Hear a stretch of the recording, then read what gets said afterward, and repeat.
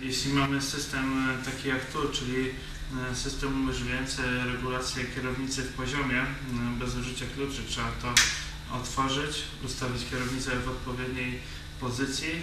Kluczem impulsowym numer 6 e, poluzować śrubę, która jest wewnątrz, jest to śruba rozpierająca i wtedy w prosty sposób można wyregulować e, wysokość pozycji, pamiętając o tym, że jest e, też zaznaczone kreską maksymalną wysokość, e, do której nie należy tej kierownicy podnosić.